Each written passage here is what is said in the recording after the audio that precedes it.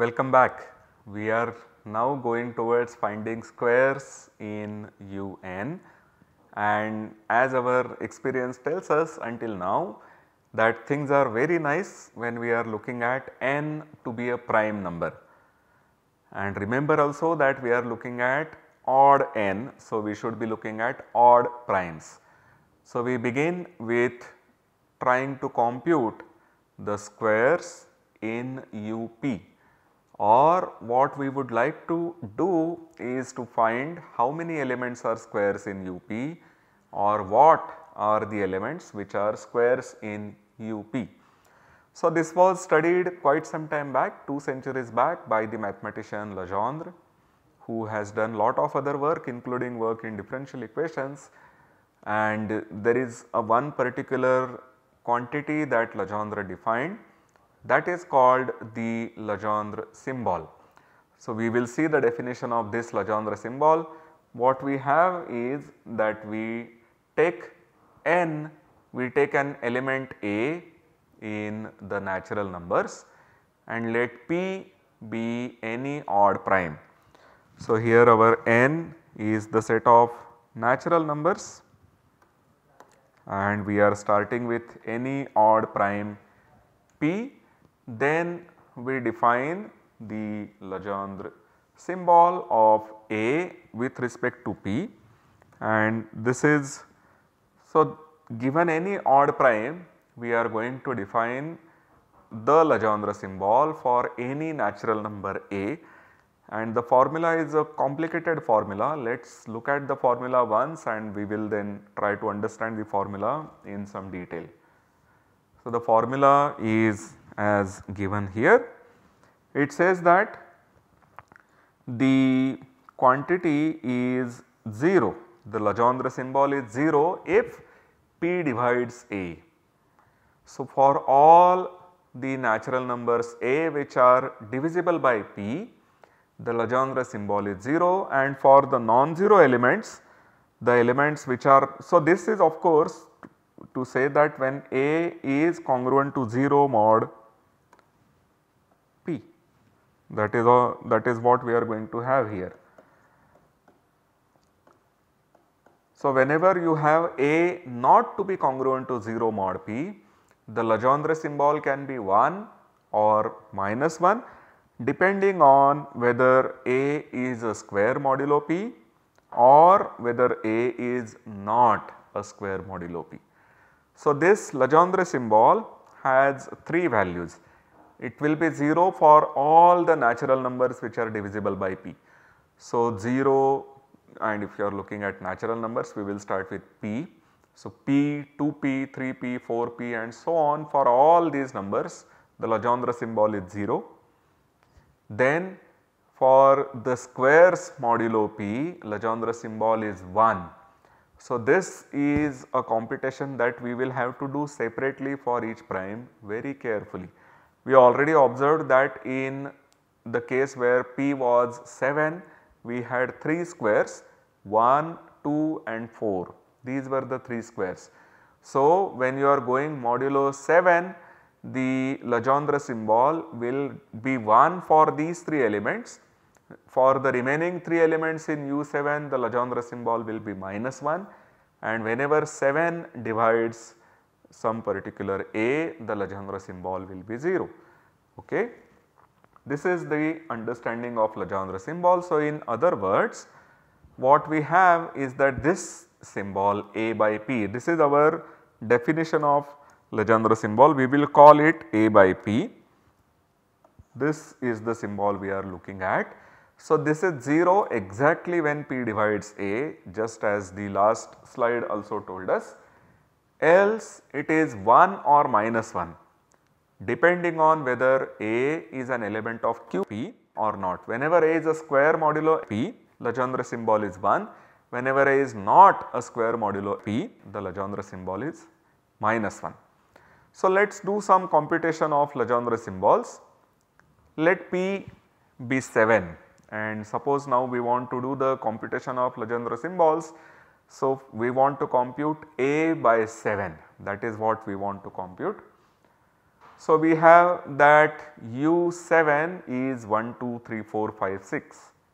The invertible elements modulo 7 are exactly 1, 2, 3, 4, 5, 6. So, among these we have computed the squares explicitly and let us just do it once again. So, 1 will give you 1 as the square and 6 also gives you 1. 2 will give you the square 4 and minus 2 which is 5 that will also give you the square to be 4 because 5 square is 25 which is 4 modulo 7 and 3 as well as 4 will give you the square to be 2. So, we have exactly 3 squares in U7 or there are exactly 3 elements in Q7 and when you write them by order you will write them as 1 comma 2 comma 4 and so this is exactly what we have. So, whenever this element is 1, 2 or 4 modulo 7 then you have that the computation of Legendre symbol modulo 7 is 1. The remaining 3 elements which are 3, 5, 6 mod 7 there the Legendre symbol value is minus 1 and of course whenever A is divisible by 7 we have that the Legendre symbol is 0. Now this computing the squares explicitly is not going to work all the time. There are some very high numbers, very large numbers which are primes and we would like to find a way to do these computations effectively. So, there are some laws that we will require to do these computations. So, we will prove these laws in due course. Right now what we will do, do is to try to get some hang of how these Legendre symbols behave. So, this is the first lemma that we have in that direction that we will start with an odd prime p. Then for every a and b in the set of natural numbers. So, you are taking a and b coming from n. Then we always have that the Legendre symbol of AB with respect to P is the product of the Legendre symbols of A and B with respect to P. So, when you want to compute, suppose you wanted to compute the Legendre symbol modulo 23, 23 is a prime, prime. If you wanted to compute the Legendre symbol of say 15 modulo 23, it would be difficult to see whether 15 is a square or not, but if you know whether 3 is a square or not and 5 is a square or not you will have the information about 15 being a square or not. So, whenever you know the value of the Legendre symbol 3 by 23 and 5 by 23 that will allow you to compute the Legendre symbol for 15 by 23. So, this way we can compute from the small elements. We, by taking products we will be able to compute the Legendre symbols for all elements modulo p. And of course we know that you will then have to compute it only for primes and you can actually start with these a comma b to be elements in integers not necessarily only in natural numbers. So, you will look at negative numbers, you will look at positive numbers. And among the negative numbers if you know how to compute the Legendre symbol of minus 1 then you can just do the calculation for positive numbers. And with minus 1 you have the calculation for all integers. And among positive numbers also once you know how to compute Legendre symbol for each prime with respect to a given prime p then you have lot of freedom then you have lot of tools at your hand to compute these Legendre symbols. So, let us prove this statement right now. We want to prove that this AB by P is A by P, B by P so, first possibility is that if P divides AB then P divides A or P divides B. This is one statement that we know quite well by now and this is in fact also true if and only if so. You will in fact have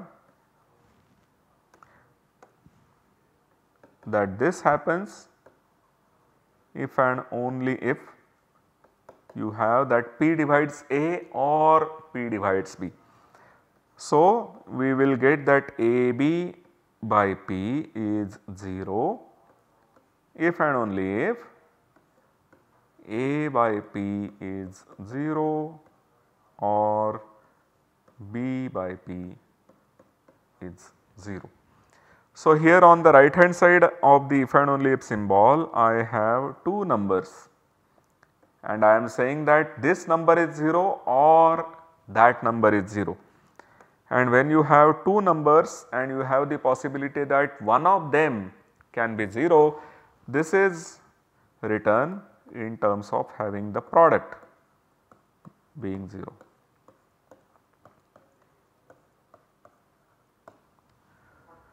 So, we have the equality AB by P equal to A by P, B by P whenever we have the equality to be 0.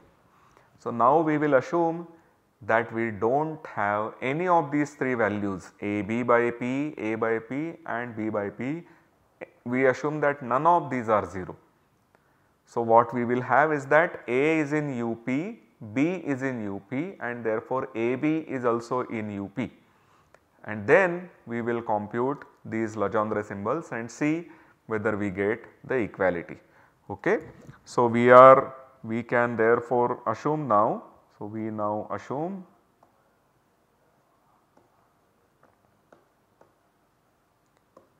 that A comma B is an element in UP. This is our standing assumption now. So, A comma B are in UP and we want to check whether AB by P is same as A by P, B by P. Now we observe that UP has a primitive root. We have proved in fact that when p is an odd prime u p power e has a primitive root. So, in particular u p has a primitive root and then we also saw that the number of squares will have cardinality exactly p minus 1 by 2. The subgroup consisting of all squares has cardinality p minus 1 by 2 exactly half the elements are squares. So, clearly if AB belong to QP then A the product AB is also in QP because it is a subgroup. Remember I had said that this fact is going to play an important role. So, if A comma B both are in QP then the product AB is in QP and then we get the equality quite easily.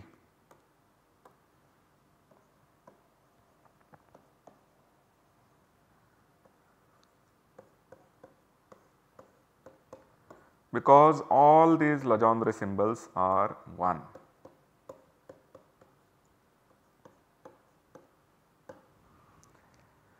Now we have to do, deal with the case where one of the two is in QP and the other is not in QP. And then finally we will have to deal with the case where none of those two is in QP. So those are the only two conditions that we need to verify our proof in. So we start with A in QP and B not in QP.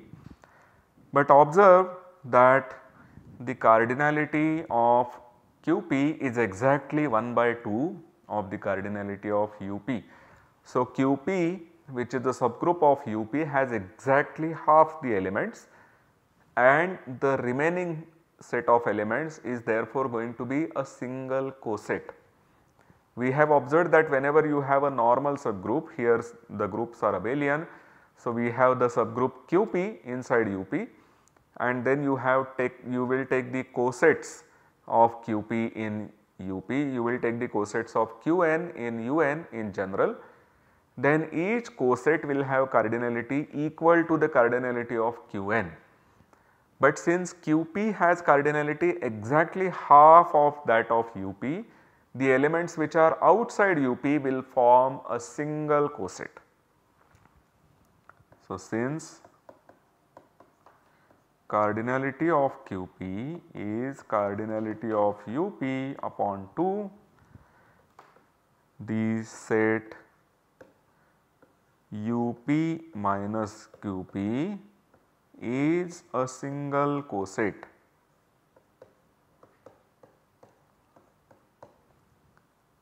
And since B is not in QP, this is equal to the coset BQP. Now we have that A is in QP and then BA also belongs to the coset BQP which is actually equal to UP minus QP.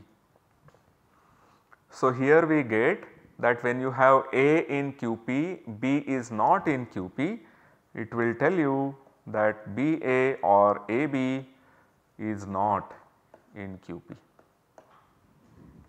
So, the computations will tell you that AB by P which is now minus 1 because AB is not in QP is also equal to A by P B by P which is 1 into minus 1 which is minus 1.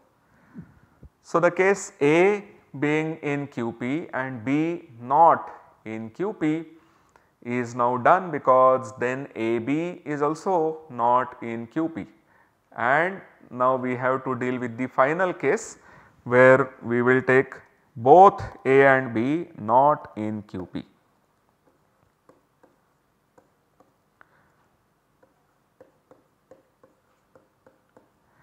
If A is not in QP and B is not in QP then by our earlier observation we have that UP minus QP is a single coset. So, we have that B is in BQP and A is also in BQP. So, that will tell you that A is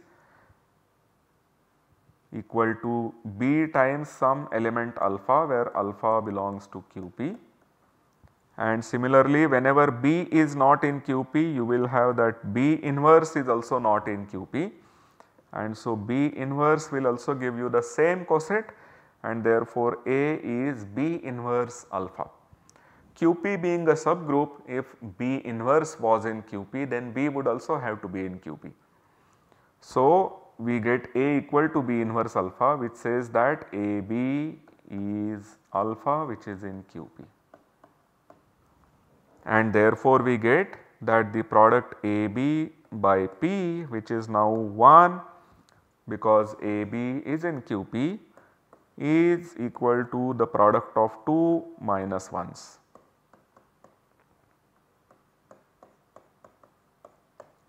So, we get equality in all the cases. Once again what we have observed is only the following thing. When you have P dividing AB that is true if and only P divides A or P divides B. So, AB by P can be 0 precisely when one of the A by P and B by P is 0. Okay. So, if A by P and B by 2 are both non-zero then AB by P cannot be 0. So, whenever P divides A or P divides B then we have the equality for AB by P equal to A by P into B by P and therefore we are now going into the case where A comma B are in UP these are invertible modulo P. When these are invertible modulo P the possibilities are that A and B will belong to QP or not. But there is a you know there would be 4 cases A and B in QP, A in QP, B not in QP, A not in QP but B in QP actually this is the same as the second case because then you can just replace A by B and B by A. And the third case now for us is when none of the AB is in QP. And what we observe is that A comma B belong to QP implies AB belongs to QP. So, we have the equation that the equation holds. If A is in QP and B is not in QP then we prove that AB is not in QP. So, indeed you get 1 into minus 1 to be minus 1. And finally, we see that whenever A is not in QP, B is not in QP, AB has to be in QP. So, you get minus 1 into minus 1 equal to 1. So, the equality of the AB by P, the Legendre symbol of the products is the product of the Legendre symbols. So, that equality holds in all cases and that completes our result for us. However, our UPs also have primitive roots. So, with respect to the primitive roots, we can actually have this result quite nicely that whenever G is a primitive root in UP, then the Legendre symbol of G power i is simply minus 1 to the power i and the only thing that we have to prove here is that the Legendre symbol of G is minus 1 that G cannot be inside QP. Once we prove this then the Legendre symbol of G has to be minus 1 and this result will follow by whatever we have proved earlier. So, that is the only thing we have to see. So, we need to prove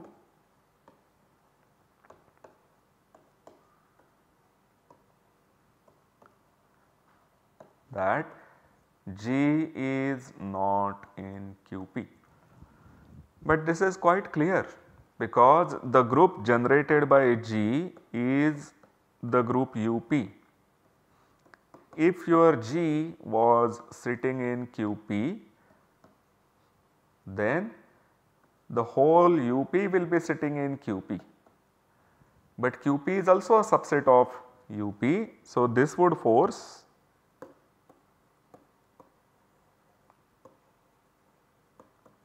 force that UP equal to QP.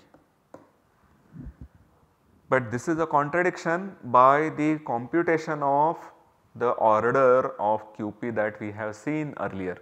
We have seen that whenever we have a primitive element there are exactly 2 square roots of 1 namely 1 and minus 1 we are taking p to be an odd prime. So, 1 and minus 1 are distinct elements modulo p. So, 1 and minus 1 are 2 square roots of 1 therefore, the map which sends every element to its square the homomorphism that we saw in the last lecture that has a non-trivial kernel of cardinality 2 and therefore, by looking at the cardinalities we get a contradiction.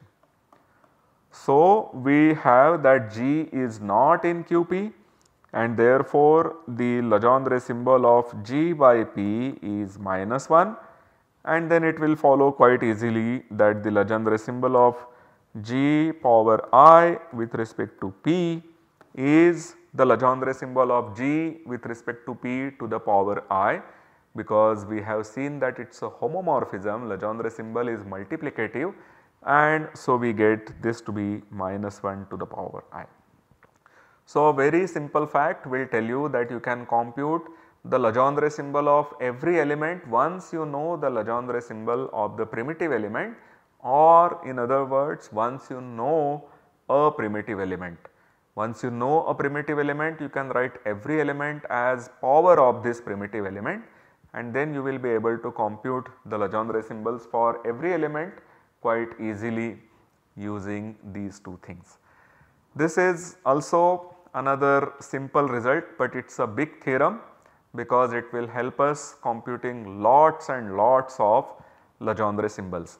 The basic thing that is different here is that on the left hand side we have the Legendre symbol which can be 1 or minus 1 or 0, but on the right hand side we have something which is purely in terms of A.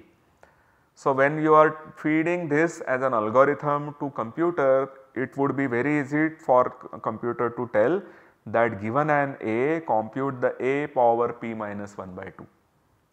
Whereas if you were to tell the computer to check whether a is a square or not or whether p divides a or not and so on then that would be more difficult things to prove or to implement on a computer program whereas this is something which is quite feasible. This is something which is quite doable. So, this is one of the very important theorems. Let us see a proof of this very quickly and once we have a proof of this then we can also do some computations and try to compute Legendre symbols for various other elements. So, the basic step here is that it is enough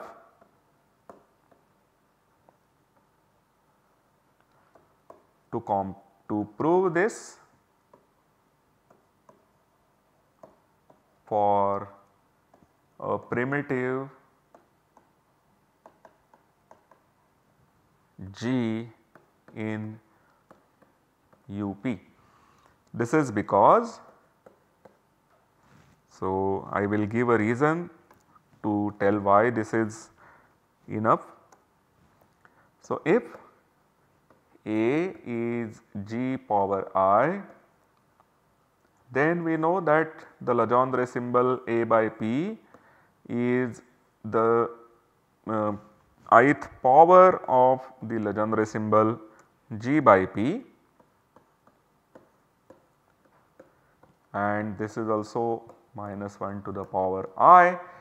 And further we have that A is G power i. So,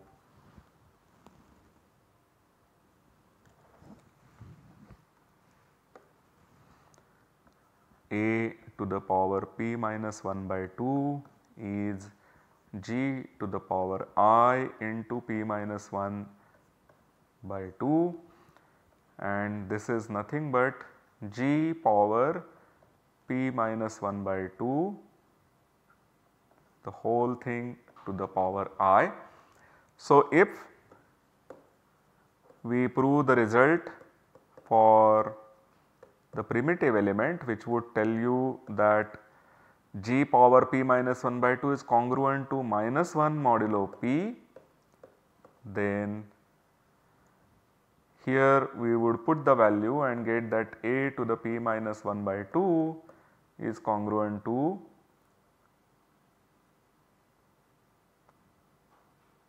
minus 1 to the power i and from the previous step this is nothing but the Legendre symbol A by P.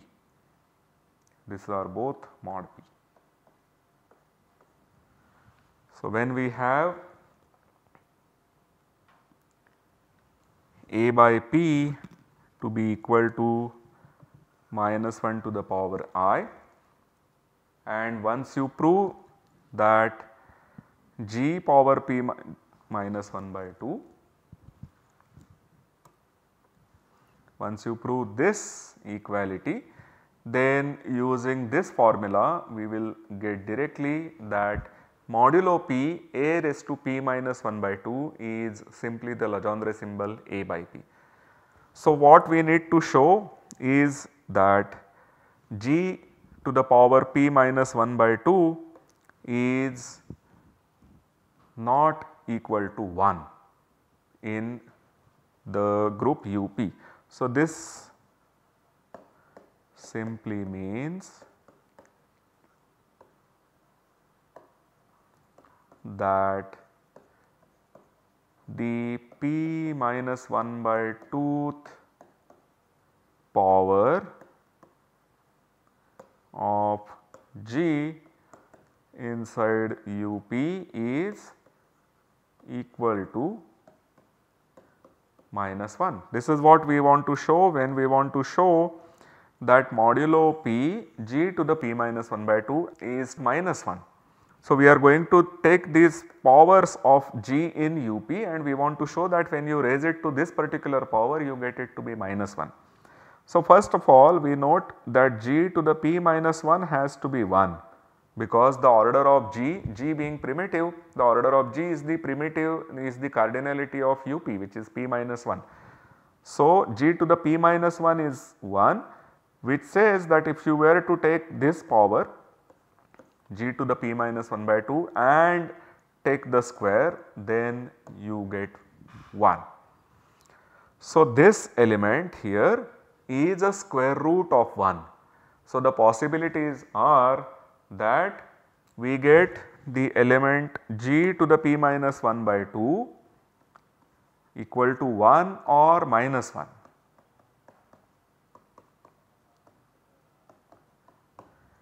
But the order of g in UP is p minus 1. So, it is not this number which is smaller than p minus 1 and therefore